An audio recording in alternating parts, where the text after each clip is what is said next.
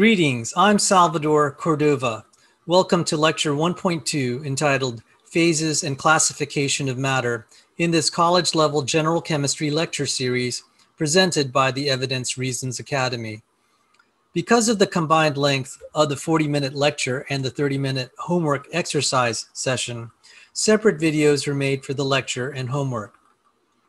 The material covered in this video is almost verbatim from the OpenStax General Chemistry book 2E and is reproduced here in this video under a Creative Commons License 4.0 as detailed in the video description. Thank you for joining me today. One way to learn or relearn something is to teach it, and learning by teaching is one of the reasons I was motivated to make this series of general chemistry videos. But the other reason I'm creating this video series is to serve our channel's viewers with high quality, free of charge science education. In my opinion, what is offered in these free videos is worth far more than an entire bachelor's degree in certain disciplines at certain universities, which charge over a quarter million dollars to get a bachelor's degree in certain so called social science disciplines of questionable scholarly value. With that, let's dive right into Lecture 1.2 from OpenStax.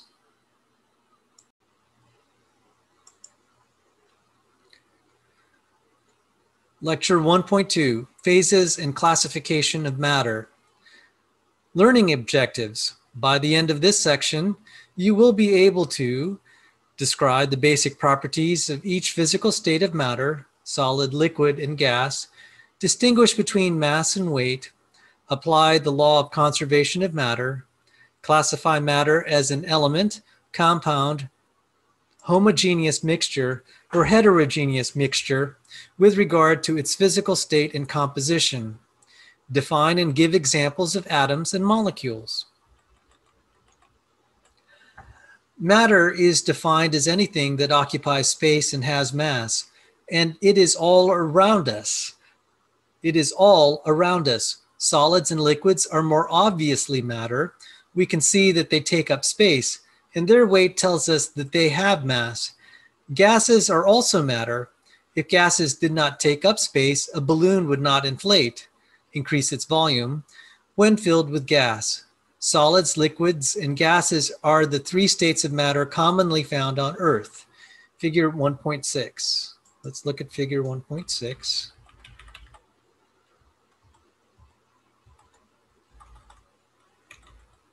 Figure 1.6 figure 1.6. The three most common states or phases of matter are solid, liquid, and gas. Solid has fixed shape and volume. Liquid takes uh, takes shape of container, forms horizontal surface, has fixed volume. Gas expands to fill container. A solid is rigid and possesses a definite shape. A liquid flows and takes the shape of its container, except that it forms a flat or slightly curved upper surface when acted upon by gravity. In zero gravity, liquids assume a spherical shape. Both liquid and solid samples have volumes that are very nearly independent of pressure. A gas takes both the shape and volume of its container. The fourth state of matter, plasma, occurs naturally in the interiors of stars. A plasma is a gaseous state of matter that contains appreciable numbers of electrically charged particles. Figure 1.7, let's look at that. Figure 1.7, a plasma torch can be used to cut metal. Hmm, by the way, I t- studied plasma physics. I think there are plasmas even in, uh, like, say, outside of stars, like in the solar system.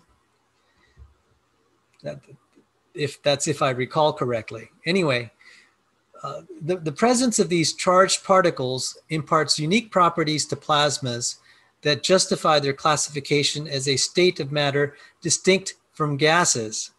In addition to stars, Plasmas are found in some other high temperature environments, both natural and man made, such as lightning strikes. certain television screens, and specialized analytical instruments used to detect trace amounts of metals. Link to learning. In a tiny cell, in a tiny cell in a in a plasma television, the plasma emits ultraviolet violet light, which in turn causes the display at that location to appear a specific color. The composite of these tiny dots of color makes up the image that you see, which is which this video to learn. Uh, watch this video to learn more about plasma and the places you encounter it. Uh, we'll skip that video. Some samples of matter appear to have properties of solids, liquids, and or gases at the same time. This can occur when the sample is composed of many small pieces. For example, we can pour sand as if it were a liquid because it is composed of many, many small grains of solid sand. Matter can also have properties of more than one state when it is a mixture, such as with clouds. Clouds appear to behave somewhat like gases, but they are actually mixtures of air, gas, and tiny particles of water, liquid or solid. The mass of an object is a measure of the amount of matter in it. One way to measure an object's mass is to measure the force it takes to accelerate the object. It takes much more force to accelerate a car than a bicycle because the car has much more mass. A more common way to determine mass, the mass of an object, is to use a balance to compare its mass with a standard mass. Although weight is related to mass, it is not the same thing. Weight refers to the force that gravity exerts on an object. This force is directly proportional to the mass of the object. The weight of an object changes as the force of gravity changes but its mass does not. An astronaut's mass does not change just because she goes to the moon, but her weight on the moon is only one sixth her earthbound weight because the moon's gravity is only one sixth that of Earth's. She may feel weightless during her trip when she experiences neg- negligible external forces, gravitational or any other, although she is, of course, never massless. The law of conservation of matter summarizes many scientific observations about matter. It states that there is no detectable change in the total quantity of matter present when matter converts from one type to another, a chemical change, or changes among solid, liquid, or gaseous states, a physical change. Let me read that again. The law of conservation of matter summarizes many scientific observations about matter. It states that there is no detectable change in the quantity of matter present when matter converts from one type to another, a chemical change, or changes among solid, liquid, or gaseous states, a physical change. Brewing beer and the operation of batteries provide examples of the conservation of matter. Figure 1.8. Let's look at figure 1.8.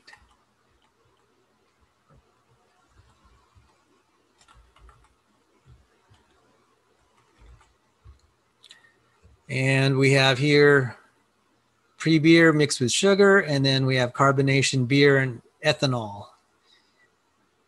So, so let's read the caption. Figure 1.8. A, the mass of the beer precursor materials is the same as the mass of the beer produced. Sugar has become alcohol and carbon dioxide. B, the mass of the lead, lead oxide, and sulfuric acid consumed by the production of electricity is exactly equal to the mass of the lead sulfate in water that is formed.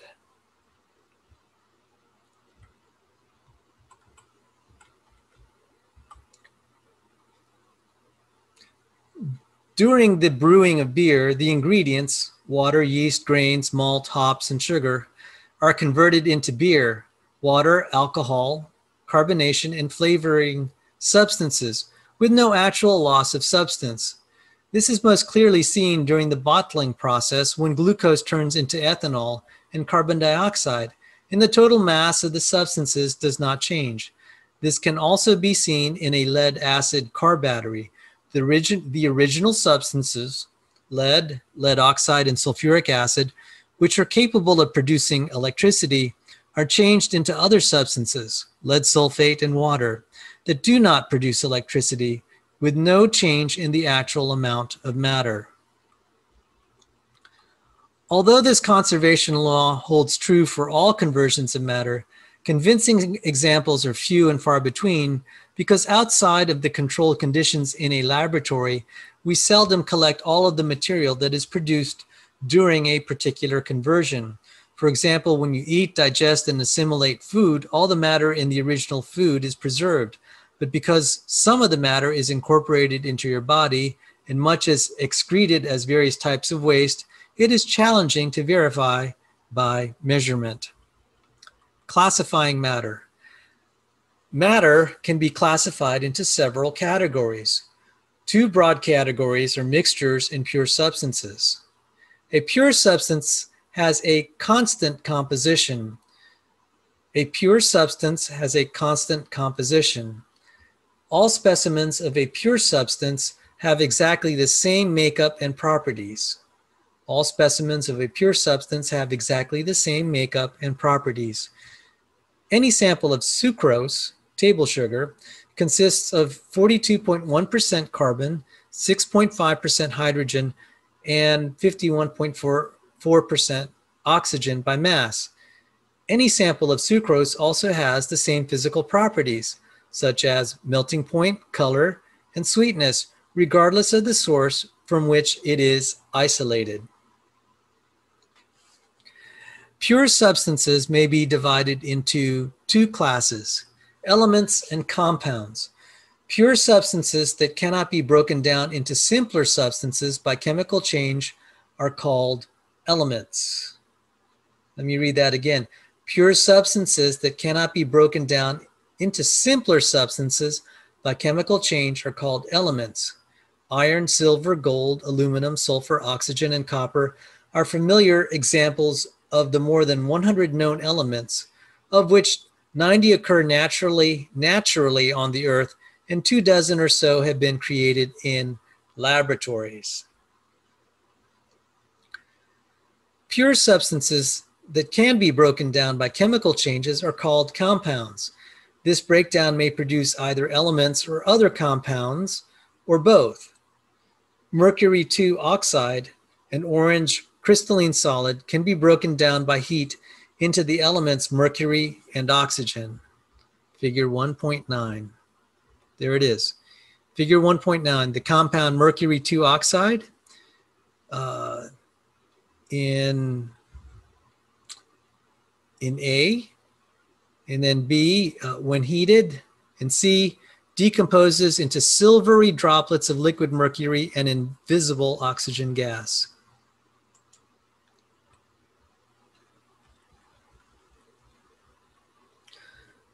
When heated in the absence of air, the compound sucrose is broken down into the element carbon and the compound water. The initial stage of this process, when the sugar is turning brown, is known as caramelization. This is what imparts the characteristic sweet and nutty flavor to caramel, caramel, caramel apples, caramelized onions, and caramel. Silver 1 chloride is a white solid that can be broken down into its elements, silver and chlorine, by absorption of light. This property is the basis for the use of this compound in photographic films, in photochromic eyeglasses, those with lenses that darken when exposed to light. Uh, there's a link to learning here. Many compounds break down when heated. This site shows the breakdown of mercury oxide, HGO, you can also view an example of the photochemical decomposition of silver chloride, the basis of early photography. And I'm going to skip going into that site. The properties of combined elements are different from those in the free or uncombined state. The properties of combined elements are different from those in the free or uncombined state. For example, White crystalline sugar, sucrose, is a compound resulting from the chemical combination of the element carbon, which is a black solid, in one of its uncombined forms. And the two elements, hydrogen and, o- hydrogen and oxygen, which are colorless gases when uncombined. Free sodium, an element that is a soft, shiny metallic solid, and free chlorine, an element that is a yellow green gas, combine to form sodium chloride, table salt, a compound that is white, that is a white crystalline solid.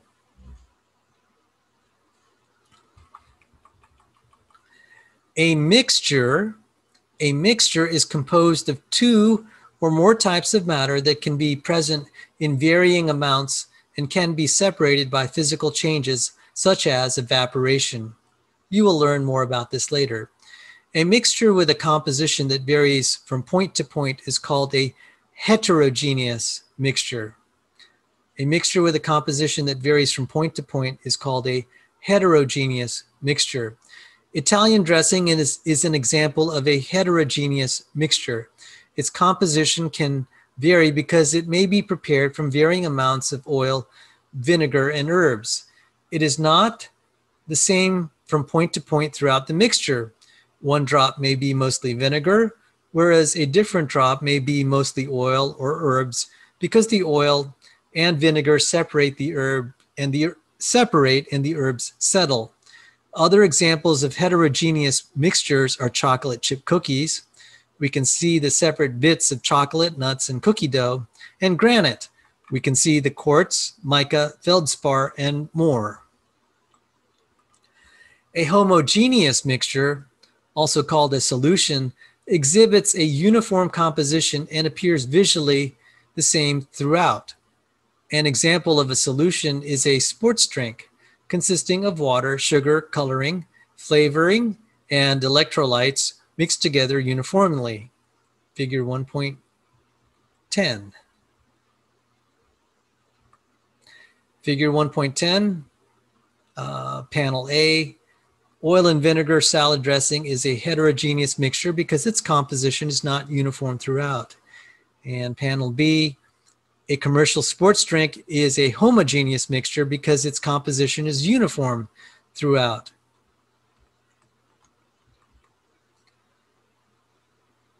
Each drop of a sports drink tastes the same because each drop contains the same amount of water, sugar, and other components. Note that the composition of a sports drink can vary. It could be made with somewhat more or less sugar, flavoring, or other components, and still be a sports drink. Other examples of homogeneous mixtures include air, maple syrup, gasoline, and a solution of salt in water. Although there are just over 100 elements, tens of millions of chemical compounds result from different combinations of these elements. Each compound has a specific composition and possesses definite chemical and physical properties that distinguish it from all other compounds. And of course, there are innumerable ways to combine elements and compounds to form different mixtures a summary of how to distinguish between the various major classifications of matter is shown in figure 1.11.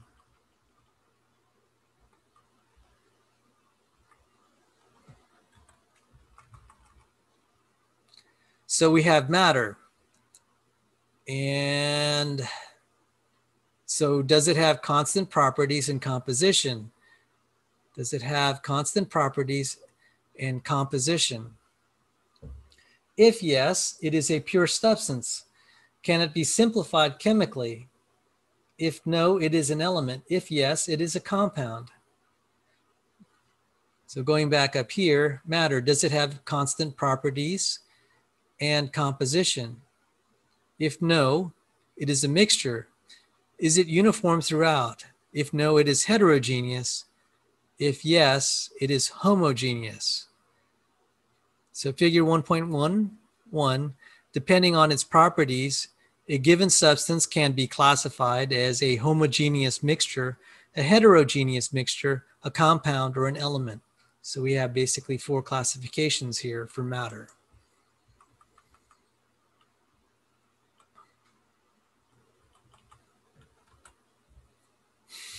Eleven elements make up about 99% of the Earth's crust and atmosphere.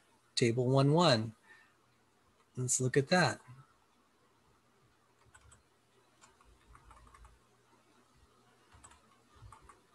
And here are the elements oxygen, silicon, aluminum, iron, calcium, sodium, potassium, magnesium, hydrogen, and titanium. What's surprising, actually, is I don't see carbon.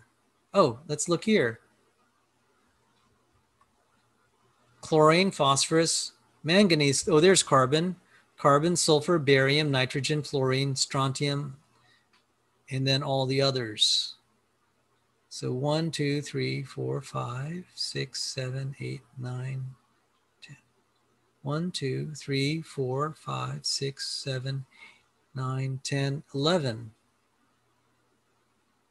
Carbon actually, there's not as much carbon as I would have thought. Amazing. So oxygen, elemental composition of the earth, oxygen and silicon and aluminum and iron. That's something I didn't know. 11 elements make up about 99% of the Earth's crust and atmosphere. Oxygen constitutes nearly one half, and silicon about one quarter of the total quantity of these elements. A majority of elements on Earth, excuse me, a majority of elements on Earth are found in chemical combinations with other elements. About one quarter of these elements are also found in the free state. Atoms and molecules. An atom is the smallest particle of an element that has the properties of that element and can enter into, in, into a chemical combination. An atom is the smallest particle of an element that has the properties of that element and can enter into a chem chemical combination. Consider the element gold, for example. Imagine cutting a gold nugget in half, then cutting it one, uh, cutting one of the halves in half, and repeating the, this process until a piece of gold remained that was so small that it could not be cut in half, regardless of how tiny your knife may be. This minimally sized piece of gold is an atom, from the Greek atomos, meaning indivisible. Figure 1.2 this atom would no longer be gold if it were divided any further. And let's take a look here. This photograph shows a gold nugget. A scanning, a scan, uh, panel A, this photograph shows a gold nugget. Panel B, a scanning tunneling electron, uh, uh I'm sorry, a scanning tunneling microscope, STM, can generate views of the surfaces of solids, such as this image of a gold crystal. Each sphere represents one gold atom. Wow. Each sphere represents one gold atom. That's amazing. That's amazing.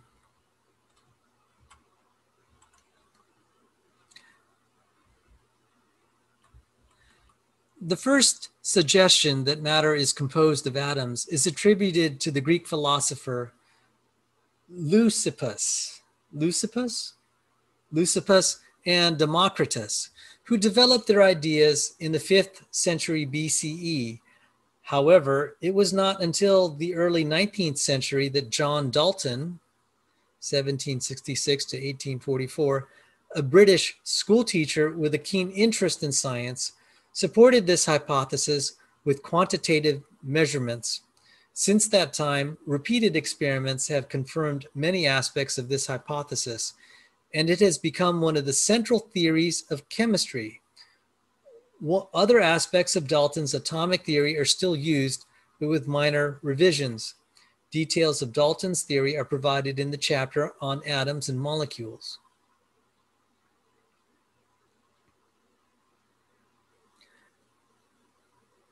So the hypothesis here is the idea of atoms, and that's central, and it has become one of the central theories of chemistry. An atom is so small that its size is difficult to imagine. One of the smallest things we can see with our unaided eye is a single thread of a spider web. These strands are about one ten thousandth of a centimeter, 0.0001 centimeter in diameter. Although the cross section of one strand is almost impossible to see without a microscope, it is huge on an atomic scale. A single carbon atom in the web has a diameter of 0.000000015 centimeter, and it would take about 7,000 carbon atoms to span the diameter of the strand. To put this in perspective, if a carbon atom were the size of a dime, the cross section of one strand would be larger than a football field which would require about 150 million carbon atom dimes to cover it. Figure 1.13 shows increasingly close microscopic and atomic level views of ordinary cotton. So figure 1.13. These images provide an increasingly closer view. Panel A, a cotton ball. Panel B, a single cotton fiber under an, optical microscope magnified 40 times. Panel C, an image of a cotton fiber obtained with an electron microscope, much higher magnification than with the optical microscope. And D and E, atomic level models of the fiber.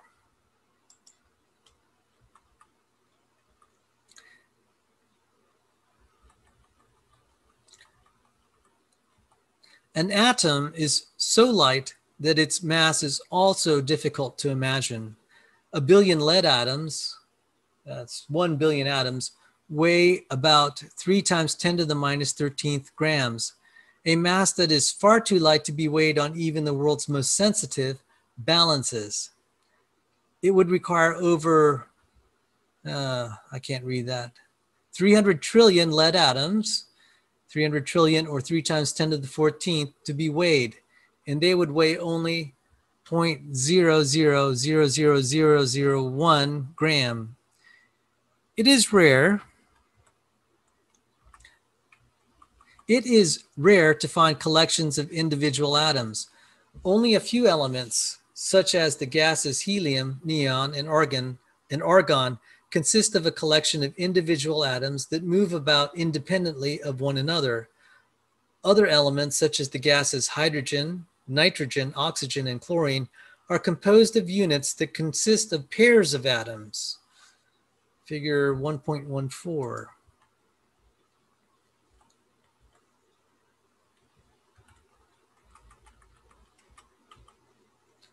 The elements hydrogen, oxygen, phosphorus, and sulfur form molecules consisting of two or more atoms of the same element. The elements hydrogen, oxygen, phosphorus, sulfur form molecules consisting of two or more atoms of the same element. The compounds water, carbon dioxide, and glucose consist of combinations of atoms of different elements.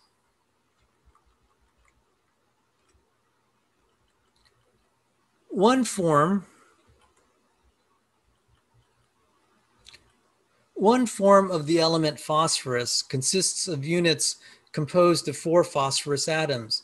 The element sulfur exists in various forms, one of which consists of units composed of eight sulfur atoms. These units are called molecules. A molecule consists of two or more atoms joined by strong forces called chemical bonds. Okay, I'm going to pause here just a little bit. This it's been a long time since I've heard a molecule defined this way, uh, where it has to be two or more atoms. So we'll just accept that definition. A molecule consists of two or more atoms joined by strong forces called chemical bonds. I wish they wouldn't use that word strong forces because uh, in physics, there's something called the strong force and it, it is not a chemical bond. Uh, the strong forces uh, involved in um, in uh, keeping the nucleus together, uh, connecting the connecting the nucleons. So I wish that's kind of an unfortunate choice of words where they say uh, a molecule consists of two or more atoms joined by strong forces. Um, that's really unfortunate. Anyway, uh, continuing on, the atoms in a molecule move around as a unit, much like the cans of soda in a six pack or a bunch of keys joined together on a single key ring. A molecule may consist of two or more identical atoms, as in the molecules found in the elements hydrogen, oxygen, and sulfur, or it may consist of two or more different atoms, as in the molecules found in water. Each water molecule is a unit that contains two hydrogen atoms and one oxygen atom. Each glucose molecule is a unit that contains six carbon atoms, 12 hydrogen atoms, and six oxygen atoms. Like atoms, molecules are incredibly small and light. If an ordinary glass of water were enlarged to the size of the Earth, the water molecules inside it would be about the size of golf balls. And we have a little section here, chemistry in everyday life.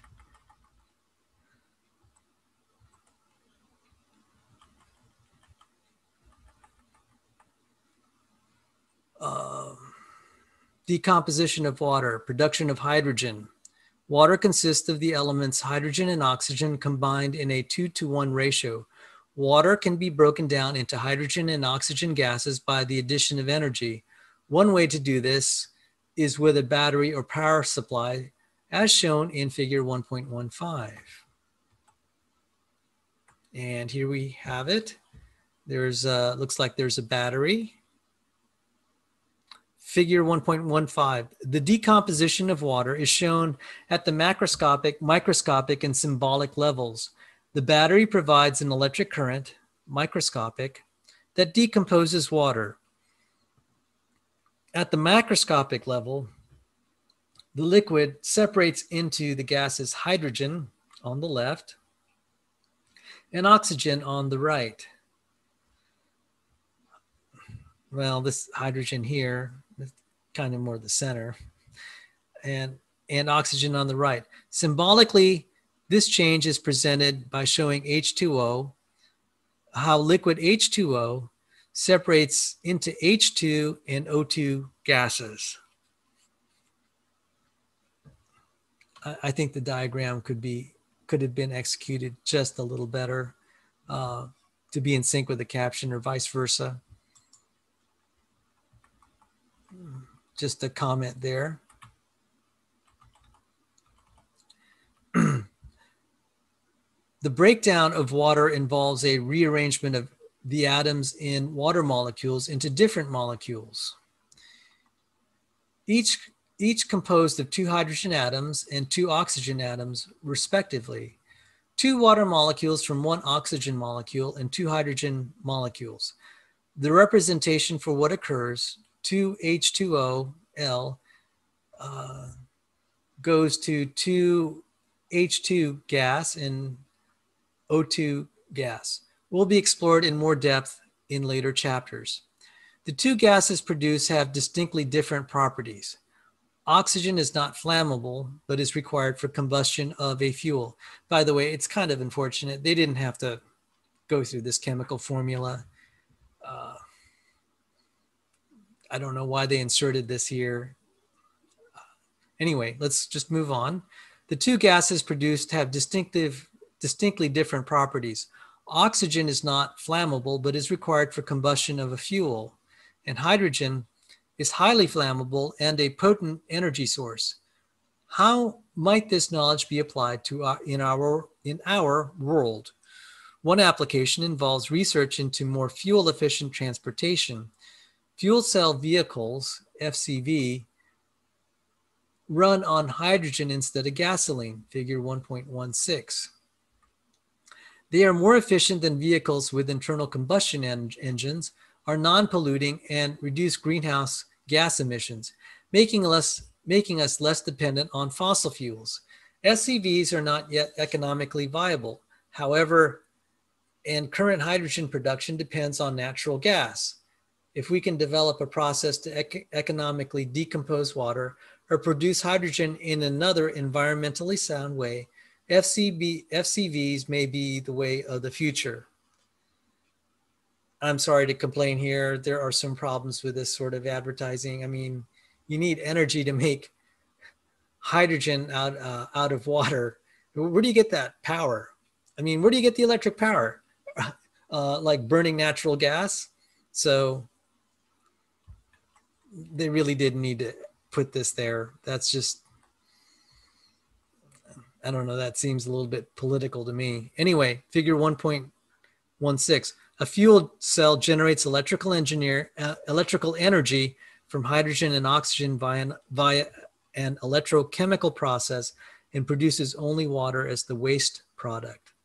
Now they do use, I'll just mention this, they uh, fuel cells are used in certain spacecrafts because they are so efficient. So there is definitely a purpose for them other than uh, making cars that pretend to be actually green energy, but then you need a lot of fossil fuel energy to make the hydrogen to power it. So I've got problems with advertising and it's really clean at this stage. Chemistry in everyday life. Chemistry of cell phones. Imagine how different your life would be without cell phones, figure 1.17, and other smart devices. Cell phones are made from numerous chemical substances, which are extracted, refined, purified, and assembled using an extensive and in depth understanding of chemical principles. About 30% of the elements that are found in nature are found within a typical smartphone.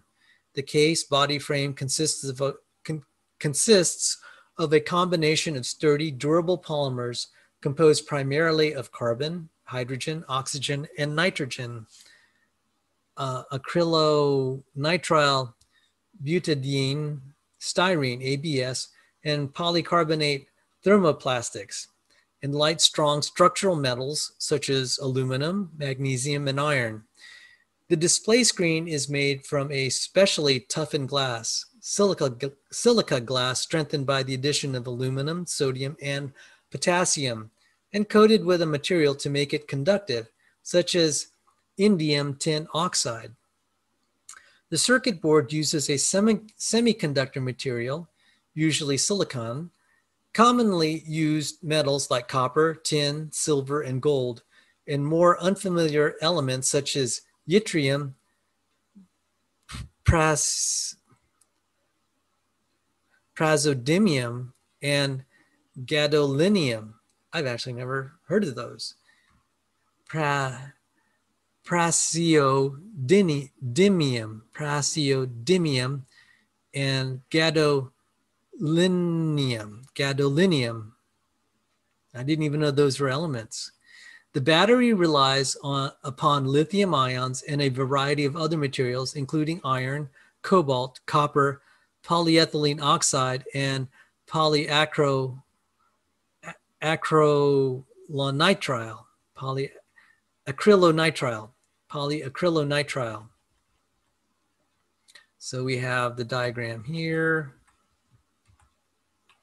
Figure 1.17, almost one third of naturally occurring elements are used to make self make a cell phone. So we have case components, polymers such as ABS and or metals such as aluminum, iron, magnesium, processor components made of silicon, common metals, copper, tin, gold, uncommon elements like yttrium and gadolin, gadolinium, gadolinium, gadolinium, I learned a new word today. Screen components, silicon oxide, glass, strengthened by addition of aluminum, sodium, potassium. Battery components, lithium combined with other metals, with other metals such as cobalt, iron, copper. And that looks like that is finally the end of lecture 1.2, section 1.2 in OpenStax.